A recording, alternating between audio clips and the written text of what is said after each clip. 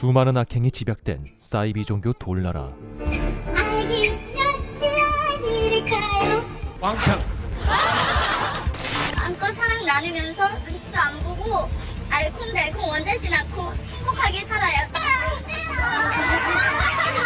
최악의 악인 박명호 교주가 이번 악인 치재기에 타깃입니다.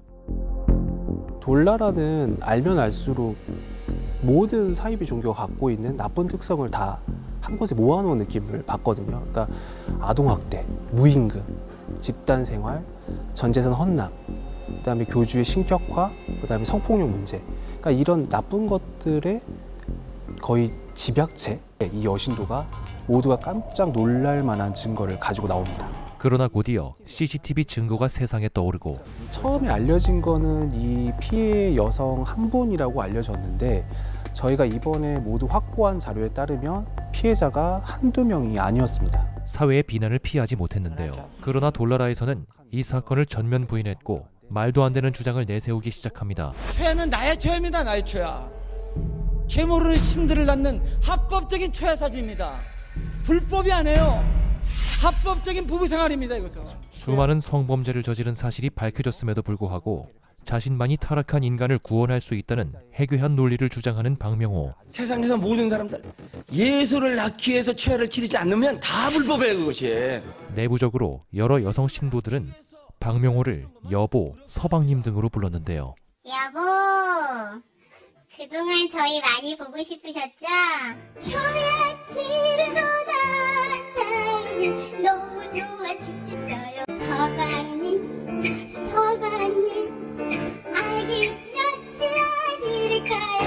왕창 자신이 돌날 안의 모든 여성의 남편이며 성행위를 통해 속죄를 해야만 천국에 갈 수 있다는 교리. 안고 사랑 나누면서 눈치도 안 보고 알콩달콩 원자씨 낳고 행복하게 살아요. 피해자는 성인들뿐만이 아니었습니다. 그러니까 무조건 70대 남성 교주를 향해서 여보 난군이라고 불러야 되는 거예요. 나를 좋아하고 나를 좋아하고 우리 서로 좋아하고 이쪽은 누굴 말릴 수 없죠 이 신부가 지난 편제 20년 기다릴 수 없다고 15년만 기다리지 않겠어요. 청소년과 어린아이들까지 모두 교리에 따라 세뇌당했는데요.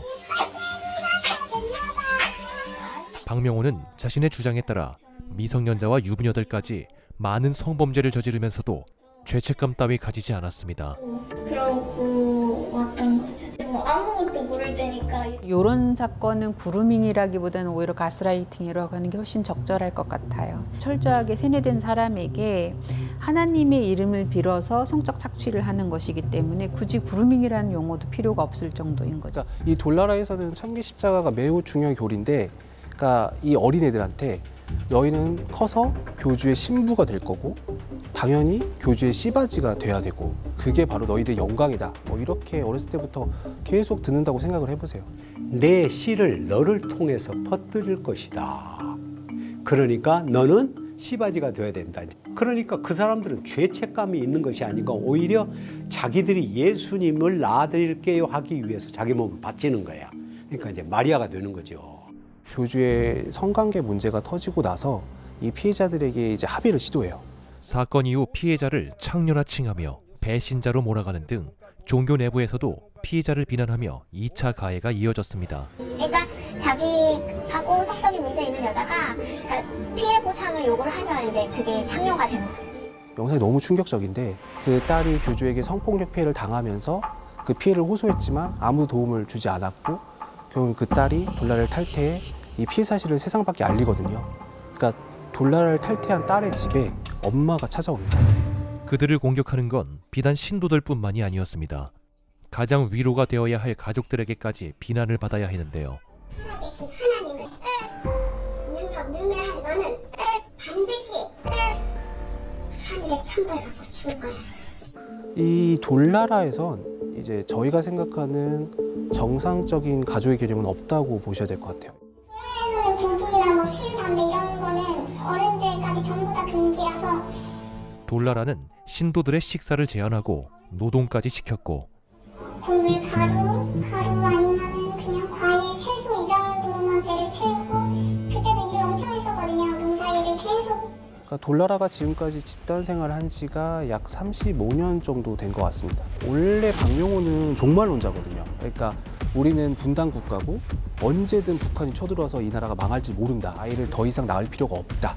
그래서 남성들에게 정관 수술을 시킵니다. 이렇게 출산을 딱 막으니까 그러니까 더 이상 아이들이 태어나지가 않잖아요. 그러니까 이제 점점 고령의 인구만 늘어나고 새롭게 태어난 아이들이 없으니까 박명호가 이제 특단의 조치를 내립니다. 다시 마을에 출산을 허용하기 시작해요. 점점 더 많은 요구를 교리로 내세우며 신도들을 조종하기 시작합니다. 부모는 돌나라 신도인 경우 제대로 된 교육도 받을 수 없었는데요. 이는 어린 신도를 유린할 수 있는 또 하나의 방법이었습니다. 그러다 보니까 이제 혼자 몰래 몰래 검- 검정고시를 가서 대학을 갔나 봐. 근데 허락, 허락을 내, 내려달라고 했는데 추방을 시켰어. 이거. 세상 교육은 그 마귀가 시키는 거라고. 합리적인 사고가 가능해져 버리기 때문에 교육도 시키지 않는 거고. 그 아이를 유린해도 얘는 자기가 예수님을 낳아드리는데 자기가 희생되고 오히려 봉사자라고 생각을 하는 거지. 2000년대 초 당시 신흥 종교였던 돌나라는 종교라는 것을 숨기기 위해 농업단체로 위장을 하는데요. 예루살렘 대성전 기념대 해서 그 활동, 활동하자 해서 활동하는데 우리 전부 20이에요. 저는 그거도 가지고요. 아껴서 별거 별거 다 해요.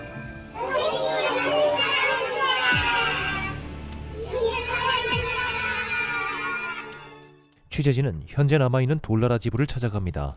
내부 신도들은 외부인들을 강하게 거부하는데요. 여기가 지금 이제 돌나라 한농복고의 문경 상주집. 제가 어떤 사람인지 아세요? 저 아시죠? 저 저주기도에 등장하잖아요, 똥돼지라고. 카메라 찍으시면 안 되죠? 저 불법이지 않아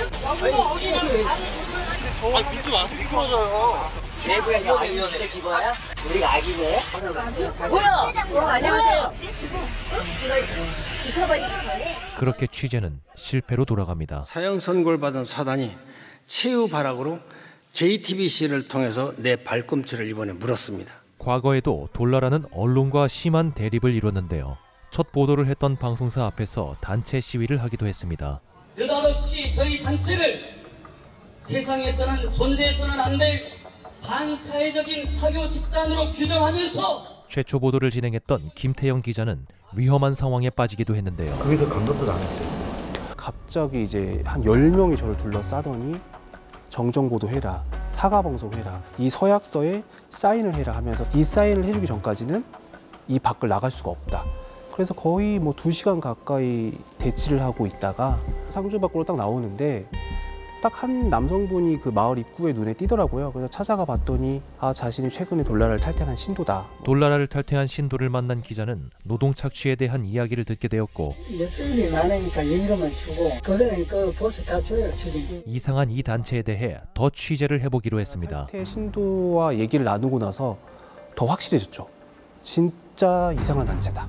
한편 기이하게도 그동안 인터넷이 취약해 한 번도 시도하지 못했던 번개 작전이 새천국에서 시작되었습니다.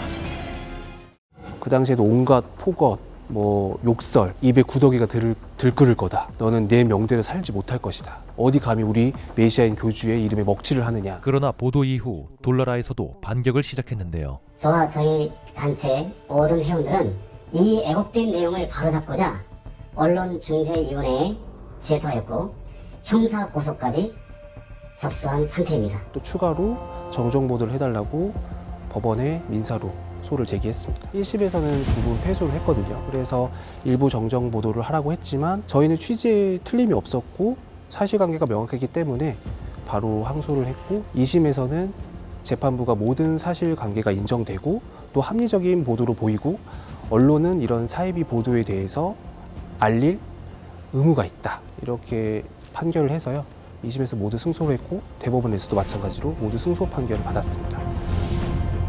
결국 소송까지 거친 이후에야 방송사는 승소할 수 있었습니다. 돌나라가 설립된 지 거의 20년이 지나서야 2009년에 예, 처음으로 교재 성관계 문제가 터지게 되거든요. 그런데 이제 이 단체가 브라질로 갔잖아요. 국내 수사망과 사회의 관심을 피해 2012년 브라질로 단체 이주했던 돌라라. 한동안 돌나라에서도 큰 잡음이 없어서 지금 브라질에서 잘 살고 있겠거니라고 생각을 했는데 지난해 5월 말쯤 아주 충격적인 제보를 받게 됩니다. 지난 4월 브라질에서 한국인 어린이 5명이 사망한 사실이 뒤늦게 알려져 큰 충격을 줬습니다. 이후 돌라라는 2022년 어린이 5명의 사망 사건으로 다시 한번 국내외 언론의 주목을 받게 됩니다. 그런데 그 어떤 문제 제기를 한 언론이 없는 거예요. 취재진은 브라질로 넘어가 현장 취재를 시작합니다. 와, 현지 한인 변호사를 통해 사건에 대한 정보를 확인하는데요. 그 돌나라 소속 아이들 5명의 사망 사건을 조사한 14,000페이지가 넘는 그 엄청난 양의 수사 보고서를 입수해서 건네주게 됩니다. 여기 이제 사고 나고 현장 뭐 목격한 거 여기 뭐 그짝 지역의 시청에서 기사 낸 거 모든 내용을 여기다가 기록을 했더라고요. 그 원인. 그러니까 이거를 캐면 캘수록 자기네들도 이게 잘못된 게 많다는 거를 이제 의식하고 또 그리고서는 외국인들을 데리고 와가지고서는 강제 노동을 시켰다는 의심까지 받게 됐기 때문에 그게 이제 괘씸죄로 착용이 되는 거죠. 그거에 대해서 손해배상이 또 추가로 들어갑니다. 그래서 지금 이 소송권이 거의 2천만 원이면은 한 500만 불 되는 거죠. 500만 불? 엄청 큰 돈 아닌가요? 여기 브라질 브라질의 기준에는 엄청나게 큰 거죠. 모든 자산이든 재산이 압류돼 있는 상황이고, 네, 왜냐면 판사님이 혹시라도 그 자산을 팔아버리고 보조할 수도 있는 가능성이 있으니까 외국인들이기 때문에 아이들이 사망한 사건임에도 불구하고 이해하기 어려운 돌나라 신도들의 반응. 어린아이들이 죽은 것과 우리가 믿는 종교가 무슨 상관이 있습니까? 아까 정말 우리가 신앙생활을 어떻게 하는지 그것이 무슨 상관이 있습니까? 신앙의 신념에서 어린아이들을 제물로 바친 이거에는 기소할 방법이 없고 더 충격적인 건 죽은 아이들의 부모가 교주에게 오히려 감사 편지를 씁니다. 교주 박명호가 아이들의 장례식에 참석했다고 해요. 그런데 그 참석한 이유가 이번에 애들 다섯 죽었을 때는 갔었다고 얘기를 하더라고요. 가서 부활을 시키겠다고 이제 그 사람들한테 얘기를 하고 간 거예요. 이 다섯 별님들을 핑계 삼아서 행하고자 했던 우리 엄마에게 욕되게 하고자 했던 이 모든 일을 오늘 이 다섯 용사들을 벌떡 부활하여 이렇게 세워주심으로 우리 엄마 이렇게 세워주시고 이 돌나라 이렇게 세워주시고 돌나라를 시로로 완성시켜 주시옵소서. 그러니까 이게 아이들이 다시 살아나기를 바라는 마음에서 하는 부활 기도가 아니라 기도를 통해 숨진 아이들을 다시 살려서 우리가 사이비 종교가 아니라는 걸 증명하겠다. 뭐 이런 황당한 생각이었습니다. 시신을 앞에 두고 기도를 올리는 등 황당한 기행은 이뿐만이 아니었습니다. 이를 부활시키려고 확신 있게 하나 일어나라 하나 일어나라 두 번이나 불렀다. 그러나 이는 끝내 대답을 하지 않고 누워 있다. 브라질로 넘어간 돌라라에는 과연 어떤 비밀이 더 숨겨진 걸까?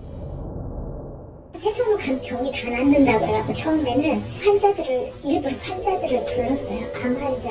교주의 말에 따라 다수의 환자들도 브라질 돌라라에 합류했습니다. 예상대로 환자들에게 적절한 치료는 없었고 풀장이나 연못 같은 걸 이제 만들어서 거기서 목욕도 하고 그 다음에 그 햇볕을 쬐면 자연적으로 치료가 된다. 그러니까 질병도 자연 치료가 된다라고 생각을 해서 그것은 결국 자기들이 만드는 오아시스를 선전하기 위한 하나의 방법이었고 실제로 그게 태양 치료를 한다고 자연 치료가 되겠어요. 병세가 더 악화되는 경우도 있잖아요. 근데 그렇게 돼도 교주 입장에서 질 리스크가 별로 없어요. 네가 믿음이 없으니까. 오히려 무보수로 일을 시키며 일을 해야 병이 낫는다는 말을 했습니다. 노동 중 사망하는 사람도 적지 않았다고 하는데요. 그래서 이제 결국에는 거기서 암에 걸려 숨지거나 또 농사를 짓다가 사고로 숨진 사람도 굉장히 많았다고 해요. 어마어마한 규모의 돌나라의 요새 세천국. 입이 다물어지지 않을 정도로 정말 그 규모가 엄청나게 큽니다. 그러니까 하나의 왕국을 세운 거죠. 건설에 필요한 자금은 신도들에게서 얻어냈습니다. 그래서 한국에 있는 신도들에게 세천국 건설을 위해 돈이 필요하니 신도들에게 헌금을 걷어 충당했던 거죠. 보수를 주지 않고 노동을 시키며 새 천국 건축에 이용하고 국내 신도들에게는 헌금을 받아내 공사를 계속 진행하고 있었던 것인데요. 돈을 빌리거나 혹은 자력으로 돈을 마련해서 큰 금액의 헌금을 내야 됩니다. 이 돌라는 월급이 없어요. 그렇죠? 그 70만 원 월급이니까 그거? 왜 없느냐? 내 거니까 내가 내 일을 하는데 무슨 월급 필요합니까? 월급 요구한다는 건 친아들이 아니에요. 그건 종이지. 월급 타령하는 사람들 우리 돌라 하나 하나 없을 거예요. 돈 엄청 들죠. 그러면서 또 갈 때 빈손으로 가면 안 되니까 강명한테 예물이라고 해가지고 거의 최소한 천만 원 정도씩 그렇게 해갖고 갖다 줘요. 신도들을 통해 총 90억 원 가량의 돈을 받아낸 박명호. 그 문건에 담긴 사진을 보면 90억 원이 넘는 큰 금액이 모였다는 내용이 적혀 있습니다. 그 명단에는 누가 얼마를 냈고 어떤 단체는 얼마를 냈고 그러니까 그 돈을 모두 모아보니까 약 90억 원이 넘는 큰 금액이었습니다. 브라질까지 갔다는 건 사실 갈 때까지 간 거거든요. 조표는 수사망과 사회 관심을 피해 거기까지 갔으니 그곳에선 더욱 강한 통제와 세뇌가 이루어질 수밖에 없었던 거죠.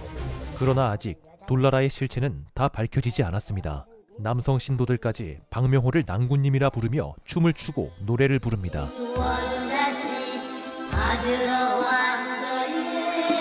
그 남성들도 70대 남성 교주를 향해 여보, 낭군이라고 부르고 있더라고요. 더욱더 세뇌가 심해진 게 아닐까 하는 그런 생각이 들더라고요. 여보 키스에 빠졌어 사랑해요 너무너무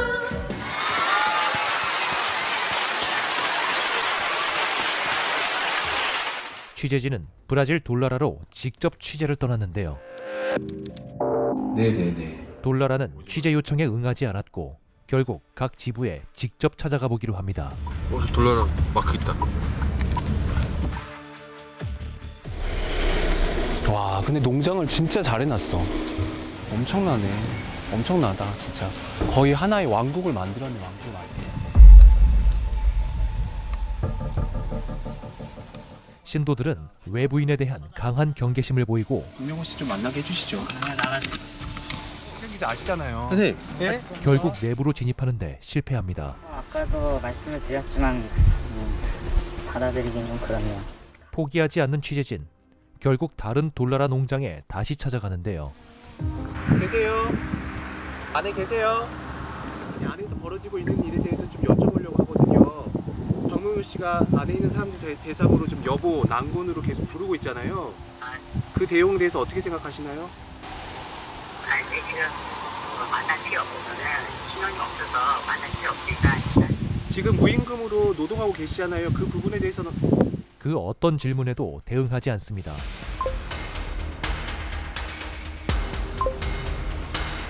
그러나 내부 소통망에 취재진의 방문 소식이 빠르게 퍼졌는데요.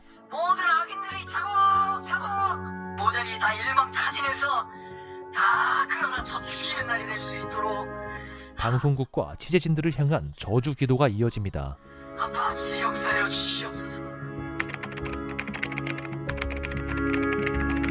이 재앙은 아직 끝나지 않았습니다. 그러니까 이런 악행에도 불구하고 제대로 된 수사조차 이루어지지 않는다는 사실이 너무 안타깝더라고요.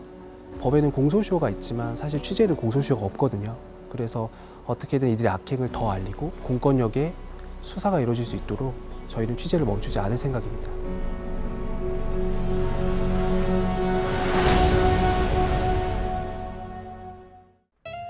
(2023년 9월 29일) 첫 공개된 웨이브 오리지널 악인 취재기입니다.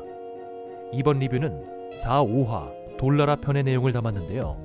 온갖 의혹과 음모로 악취나는 사건 현장을 추적해 악인들의 실체를 드러내는 폭로 저널리즘 다큐멘터리인데요. 과외앱 살인 사건 정유정을 시작으로 두 얼굴의 목사, 필리핀 마약왕 등 강력 범죄를 다루는 만큼 fact로 꾹꾹 눌러 담은 실제 취재기를 볼 수 있습니다. 웨이브 오리지널 웨이브에서 매주 금요일 독점 공개되며 지금 바로 시청하실 수 있습니다. 감사합니다.